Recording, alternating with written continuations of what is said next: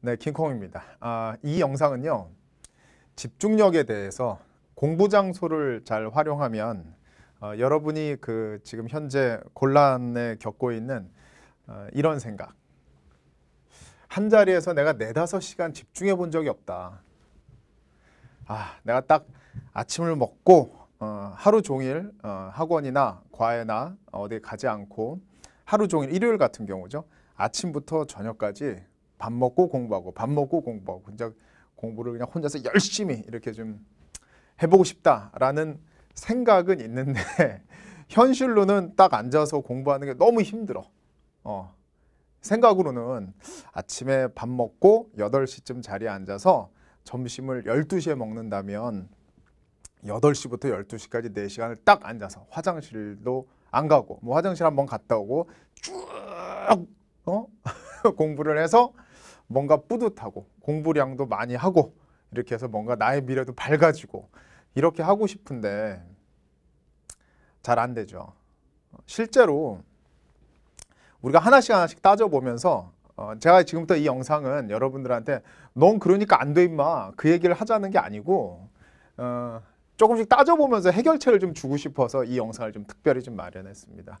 물론 어, 모든 영상은 다 과거의 저의 얘기이기도 합니다. 근데 어, 저도 이제 깨달았어요. 저의 그 솔직한 과거의 모습을 애들한테 얘기하니까 애들이 잘 이해를 하더라고. 다 그때 알아서 아 사람들은 다 똑같구나. 아 그랬어요. 해결책을 내가 여러분보다 좀 먼저 살았어요. 그리고 어, 학원가에 있다 보니까 잘 되는 학생, 잘못 되는 학생들 너무 많이 봤거든요. 그래가지고 제가 음, 해결책 제시할 수 있어서 영상 마련한 겁니다. 우리 한번 이렇게 얘기를 좀 해봅시다. 여러분 그 한 자리에서 우리가 잘 따져봐요. 네다섯 시간 쭉 해서 집중해 본 적이 집중 이제 뭐 어, 집중 말이에요. 해본 적 있어요? 만약에 어, 지금 제가 드리는 이 질문 당신은 태어나서 지금까지 네다섯 시간을 쫙 집중하면서 어, 뭐 해본 적이 있다. 이런 적이 있다면 이미 그 당신은 어, 외계인입니다. 그런 사람 거의 없을걸요. 그런 사람이 있기는 있겠죠. 그런 사람들 뭐 이미 뭐 엄청나게 공부를 잘해서 메가스터디 킹콩 수업은 뭐 쉬워. 에이, 뭐 나는 이미 너무 공부 잘하는 사람이 돼 있을 거니까 이런 영상 보지도 않을 텐데 보통 사람이라면요. 잘 봐요. 사실 영화 두시간도요 너무너무 재미있어서 금뻑 가는 일이 아니면요. 두시간도좀 길잖아요. 또 학교 학원 수업 들을 때도요. 우린 공부라고요. 영화가 아니라. 학교 수업 들을 때도요. 50분 수업 좀 길지 않아요? 내가 너무 좋아하는 선생님. 그리고 너무너무 그날 잘 들어. 그런 경우는 거의 없잖아요. 50분도 사실 공부하는 게 길어요. 그리고 재밌는 만화나 소설책도요. 너무 재밌어 막 읽다가 보면 어, 1시간 반, 2시간 정도 되면 몸에 마비가 옵니다. 그리고 물 한 잔 먹어야 되고 좀 놀아야 되잖아요. 그리고 그것도 힘든데 최단 1시간 한 30분 정도 되지 않나요? 그 다음에 어, 초딩 때 말이에요. 어, 저제 경험도 그런데 초등학교 때 맨날 선생님 국어, 수학 뭐 이런 거 하다가 미술 시간이나 체육 시간 같은 거 되면 체육 시간에 공 몇번 차면 벌써 한 시간 지나고 금방 지나가. 어, 그림 그리기 또는 뭐 그림 그릴 때도 시간 금방 가고 그다음에 친구들과 놀기 이럴 때도 시간이 금방 가는데 우리가 기본적으로 하는 이 일 공부라고 하는 건 잘 안 가죠 시간이. 그런데 우리 한번 아 그러니까 이 영상 보는 애들 중에서 공부 엄청 잘하고 막 한 번에 앉아서 네다섯 시간씩 막 공부하는 학생들, 어 그런 학생들 빼고 우리 평범한 common people들은 이런 일은 발생하지를 않아요. 한 자리에서 네다섯 시간씩 집중해보고 그러지는 않거든요. 잘 안 되잖아요. 근데 이 영상에서 말이죠. 아니, 이, 이 영상에서 제가 여러분들한테 드리고 싶은 말씀이 이런 얘기가 있어요. 엉덩이로 버틴다. 어. 엉덩이로 버텨서 그 엉덩이 커야 된다. 공부 잘하는 애들은 점점 엉덩이가 커진다. 왜냐하면 계속 앉아 있으니까 잘 안 일어나고 책상에서 버텨서 버텨서 공부를 해낸다. 뭐 이런 말은요. 이게 공부가 어느 정도 될 때 조금 되고 좀 뭐가 좀 참 조금 참아도 한몇 시간씩 더 할 수 있고 이런 상황이 될 때 그러는 거지. 우리가 몸의 컨디션도 좀 안 좋고 공부도 잘 안 되고 솔직히 이 영, 영상을 본 친구 중에서 아 나는 한 시간 이상 집중도 잘 안 되는 것 같은데 나는 이런 친구들한테는 그냥 가만히 앉아서 계속 버티기만 하는 건 그냥 노동이죠 노동. 효율이 있는 것도 아니란 말이에요. 그래서 우리 현실과 타협합시다 질 것 같으면 그냥 타협해버려 타협해서 어쨌든 공부만 잘하면 되잖아요 그죠? 아 킹콩도요 아, 고등학교 때 아, 참 공부하기 힘들었습니다. 뭐 날씨만 좋으면 나가서 놀고 싶고 막 이렇게 했는데 거기서 저 고등학교 때 말이죠. 어, 어떤 경험이 있어요. 그 경험을 여러분들한테 좀 말씀드리고 영화 얘기도 좀 하면서 어, 여러분들한테 좀 이야기하려고 합니다. 영화. 어, 우선 제가 드리려고 하는 영화 이야기는요. 조인성하고 정우성 씨, 조인성하고 정우성 씨가 했었던 그 어, 영화 더 킹이라는 영화 속의 한 장면을 여러분들한테 좀 같이 이야기를 나누면서 어, 보고 싶은데 혹시 제가 지금 자료 조사가 좀 했는 덜 했는지 모르지만 더 킹이라는 영화를 고등학생들이 못 보나? 어쨌든 뭐 보든 뭘 말든 이제 거기서 한 장면을 좀 제가 얘기를 해주겠습니다. 그 더 킹이라는 영화에서 보면요. 검사들의 역할입니다. 사법고시를 합격하고 서울대를 졸업하고 막 서울대 법대 졸업해서 사법고시 판사한 막 검사들의 이야기인데요. 거기서 이제 주인공이 조인성 씨가 예, 주인공 역할 나오는데 조인성 씨가 그 영화 속에서 고등학교 때 공부를 못했어. 공부를 엄청 못했어.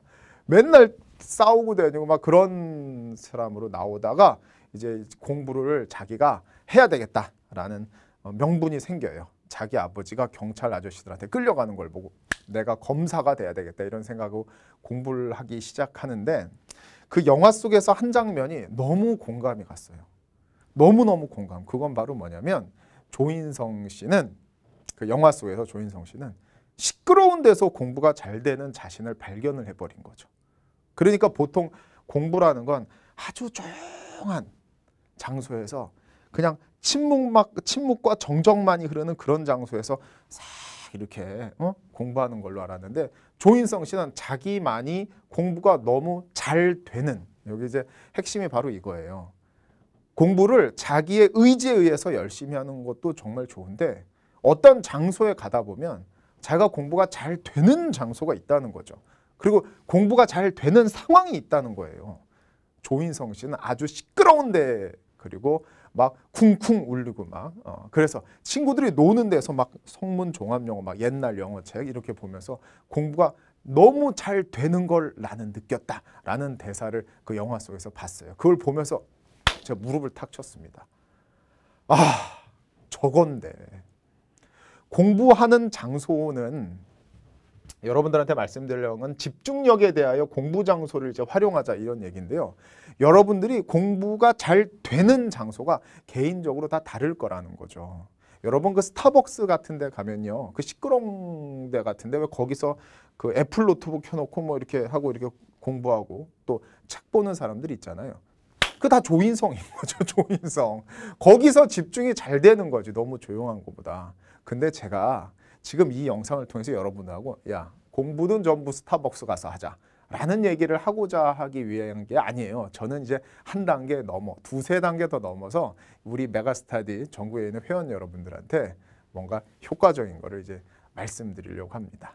공부 장소와 우리의 공, 어, 집중력의 기간은 매우 짧다라는 것의 비빔밥이죠. 자, 우리가 공부를 하는 장소를 한번 좀 내가 칠판에 적어봤어요. 적어보면 이렇게 해야 되죠. 자, 한번 보십니다. 우선 제일 먼저 어, 내 방에서 공부를 하죠. 어, 내 방에서 공부. 근데 여러분 혹시 그거 아세요? 자, 이제부터 듣게 됩니다. 내 방에서 공부하다가 어 엄마도 자고 아빠도 자고 동생도 자는 한밤에 부엌 불을 딱 켜고 식탁에서 내 방에서 공부하다 식탁으로 싹 자리를 옮기면 공부가 잘 되는 느낌이 좀 받아요. 그럼 식탁에서 딱 옮기면 또 한 시간 반, 두 시간 쫙 공부가 좀 잘 됩니다. 그런 경험 있으실 거예요. 근데 저는 고등학교 때 이런 경험도 있거든요. 저희 어머니가 아파트 베란다 있죠. 베란다. 베란다는 원래 식물도 놓고 밖에가 잘 들여다 보이는 건데 거기 베란다에다가 식, 어, 식탁 같은 걸 차려주시고 제 동생하고 저보고 여기서 공부해라 이랬어요. 엄청 공부가 잘 됐던 느낌이 들어요. 엄청 공부가 잘 됐던 느낌. 밖에서 싹다 보이고 완전 프레시한 장소에서 공부를 하다 보니까 이 공부 뭔가 너무 잘 되는 거죠. 막혔던 게 막 뚫리는 거죠. 근데 이제 제가 여러분들한테 드리고 싶은 말씀은 바로 뭐냐면요. 아까부터 얘기하지만 우리의 집중력은 그리 길지 않고 공부가 잘 되는 장소가 있다는 것. 이 두 가지를 결합해 보면요. 답이 나온다는 거죠. 여러분 혹시 계속 들어보세요. 제가 결론 얘기할 겁니다. 일요일 날 같은 경우에 학교에 아무도 안 가잖아요. 학교에 일요일 날 같은 경우에 자신의 학교에 한번 가보세요. 학교에 가보면요. 그 학교에 내가 늘 있는 그 빈 교실. 항상 친구들이 아주 많았는데요. 아무도 없는 그 조용한 빈 교실에 가서 한번 공부해 본 적 있으세요? 공부 엄청 잘 됩니다. 그거는 그 장소가 주는 어떤 프레시한 느낌과 평상시하고 다르다라는 인간의 다른 어떤 감각을 만족시키는 것 같아요. 그러면서 쑥 하고 집중됩니다. 또 여러분 도서관 붐비는 좁은 자리 도서관 같은 데 가면요 여러분들이 친구들이 막 공부하고 있고 막 훅군 달아오르는 느낌이 들어서 어 나도 이렇게 열심히 해야 되겠다 없던 패션 열정이 막 나도 막 이렇게 하게 되는 그런 면도 있죠 돈 좀 내고 나 독서실 뭐한 어, 요즘 가격이 얼마인지 모르겠는데 저 때는 한 12만 원, 13만 원 이랬던 것 같아요. 독서실 가면 또 공부가 잘 되죠. 자, 이제 이야기를 이제 모아 모아서 이제 정리해서 좀 말씀드리겠습니다. 이렇게 하는 방법을 한번 해보세요. 한번 해보시고 그게 여러분들한테 도움이 될 거기 때문에 그리고 저의 경험이기 때문에 여러분들한테 말씀을 드리는 겁니다. 저 같은 경우는 이랬어요. 아, 나는 어차피 한 자리에서 네다섯 시간씩 집중이 잘 안 돼. 몸도 무거워서 엉덩이도 아파. 제가 제일 집중하는 시간은 1시간 반 정도에서 2시간 정도도 좀 벅차더라고요. 그래서 아침에 일어나서는 방에서 공부를 해요. 근데 방에서 쭉 공부하다 1시간 조금 넘어서 이게 집중이 안 되고 이게 눈 뜨고 잠잘 때 있잖아요. 이렇게 옛날 생각 이렇게 아, 아니 아니 아니 이렇게 하고 막 갑자기 이렇게 있다 옛날에 쭉 팔린 생각이 나서 아, 내 옛날에 왜 그랬지 뭐 이런 생각도 하고 뭐 이러다가 이런 생각이 한두 번 발생하면 이미 그 장소에선 저 이제 그, 전 그때부터 공부가 안 되더라고요. 그냥 현실과 타협을 해버리고 저는 공부 장소를 그냥 옮겨버렸어요. 방에서 한두 시간 정도 공부하다 안 된다 이제. 이 정도면 충분히 이 장소는 다 써먹은 거야. 그러면 가방을 간단하게 싸서 그냥 저는 식탁으로 나가서 거기서부터 공부, 식탁에서 공부한다. 또 식탁에 앉으면 또 환경이 바뀌면서 거기서 또 공부를 해요. 하다가 끊어놓은 독서실 가서 또 공부합니다. 그러니까 아침 먹고 점심 먹기 전에 한 번 정도, 많으면 두 번 정도 공부 장소로 옮겼어요. 그러면 새로운 장소에 갈 때마다 없던 집중력이 전 생기는 체질의 학생이더라고요. 모르겠어요. 다른 애들은 어, 인내심도 좋고 버티는 힘도 좋고 집중력도 좋아서 딱 자리에 딱 앉아서 그냥 저녁에 잠들 때까지 몇 시간씩 앉아서 쫙 공부하는 그런 학생이면 뭐 저도 그랬 하고 좋죠. 근데 저는 그게 안 되는 학생이더라고요. 쉽게 그냥 현실과 타협했습니다. 장소를 계속 옮기면서 어차피 나는 집중력을 다섯 시간씩 안 되니까 공부하고 살짝 그 장, 공부 장소 옮기면서 몸도 릴렉스하고 몸도 풀어주고 다시 새로운 장소 공부하고 그래서 하루에 여섯 군데 정도 뭐 적으면 다섯 군데 정도를 옮기면서 집중력을 가장 중요한 건요 공부 장소를 그렇게 활용하면요. 집중력이 유지가 될 수 있다는 겁니다. 유지. 집중하다가 살짝 다시 유지. 살짝 이렇게 말입니다. 이러한 공부의 패턴, 공부 장소를 통해서 그 공부의 집중을 유지할 수 있었던 건요. 수많은 실패를 통해서 제가 경험했던 거예요. 어떤 식이었냐면요. 이랬었어요. 저는 원래 이제 농구를 좀 했다고 그랬잖아요. 공부를 오전에 쫙 해요. 아침에 열심히 공부해요. 열심히 공부하는데 점심 먹기 전까지 같은 장소에 있는 게 너무 힘들어. 너무 힘들어서 버티고 버티고 버티고 버텨서 오전에 공부 다 했어. 그리고 밥을 딱 먹으면 다시 내 공부 장소로 돌아오기가 너무 힘들더라고요. 오전에 힘들었는데 그 장소 다시 너무 힘들어. 그때 옆에서 들리는 친구의 그 마약 같은 소리. 재영아, 농구 한 게임 할래? 막 이거. 아, 재영아, 농구 한 그 말을 듣는 순간에 이미 저의 통제력은 out of control. 가자. 가지고 운동장 가가지고 농구를 세 판 네 판 합니다. 땀이 온몸에 땀이.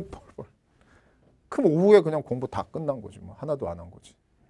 그리고 너무 더우니까 너무 땀을 많이 흘렸으니까 공부하려면은 또 지저분하니까 씻어야 되고. 그 밥 먹고. 점심에 피곤하니까 또밥 먹으니까 도졸 저녁에 독서실 안에서 또 졸고 자고. 푹 자요 아주 그냥. 독서실 박인 줄 알고. 그렇게 하루를 막 버리는 이보다 어느 정도 나하고 내 스스로 안에 있는 내 지구력화 밀당을 하는 거죠. 이렇게 싹싹 장소를 옮기면서 계속 나를 달래는 거예요. 어차피 나는 집중력이 길지 못하니까 이 장소 가서 한 시간 반만 노력하자. 한 시간 반 할 수 있잖아. 그리고 또 딴 데 가서 옮기면서 다른 데 가면서 마음도 마인드 컨트롤하고 또 그 장소 가서 열심히 하고. 이렇게 해서라도 집중력을 유지하는 게 좋아요. 하루를 확 벼버리고 갑자기 친구의 유혹에 빠져서 그러지 말고 혼자서 독고다이로 가방 메고 마치 뭐 어, 수양하는 어떤 무슨 스님들처럼 말입니다. 이렇게 딱 조용히 다니면서 집중을 계속 유지하기 위한 노력. 그게 여러분이 집중을 유지할 수 있는 훨씬 훨씬 쉬운 방법일 거예요. 본인이 책상에 딱 앉아서 너무 힘들고 어느 순간에 집중력이 떨어져서 교과서에 그림이나 그리고 친구한테 문자나 보내고 이건 이미 본인의 힘이 떨어진 거예요. 집중력이 안 되는 거죠. 그럴 땐 과감하게 장소를 옮기세요. 공부하는 장소는 대단히 많습니다. 이 여섯 군데 왔다 갔다 왔다 갔다 하면서 하시면 됩니다. 근데 여기서 어, 이제 딱 잘 되는 장소가 있으면 계속 돌아다, 돌아다녀라 그런 게 아니라 난 여기가 제일 잘 된다. 그럼 같이 버티는 게 제일 좋지만 어, 무조건 돌아다녀라가 좋다는 게 아니라 공부가 안 되면 자리를 옮겨서 집중력에 유지를 할 수 있도록 해라. 라는 게 여러분한테 드리고 싶은 메가스테이 킹콩의 제안입니다. 요즘 그 제 Q&A 게시판에 이런 영상 찍어주세요. 저런 영상 찍어주세요. 이런 얘기가 있어서 제가 아주 좀 기분도 좋고 의욕적으로 하고 있으니까 여러분의 고민이 있으면 또 그런 고민이 다수의 학생들한테 나오는 거라면 지금처럼 여러분들을 위해서 어, 저의 과거에 빗대서 아 창피하지 않습니다. 뭐 나도 옛날에 했는데 뭐 어, 그런 걸 해서 여러분과 함께 공감을 해서 학생이 도움, 어, 앞으로 공부하는데 도움 줄 수 있게 방법을 제시하는 영상을 앞으로 지속적으로 찍어 나가겠습니다. 메가스타의 킹콩이었고 또 고민 있으면 물어봐 주세요. 제가 또 답을 드리겠습니다. 화이팅!